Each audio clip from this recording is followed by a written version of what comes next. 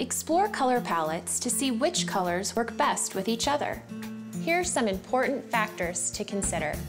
First, start by selecting the color tones you like best. Do you like warm, cool, or neutral tones? Warm colors tend to be orange, red, and yellow. Cool colors are your greens, blues, and purples. Mixing warm colors with warm colors and cool colors with cool colors is a good way for someone who might not be confident with color coordination to get comfortable.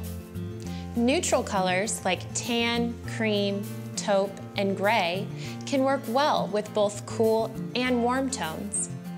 Depending on the look you're going for, you can play it safe by using colors within the same family found on the color gradient card at the paint store. If you're comfortable taking a risk, try pairing complementary colors to show contrast in an interesting way.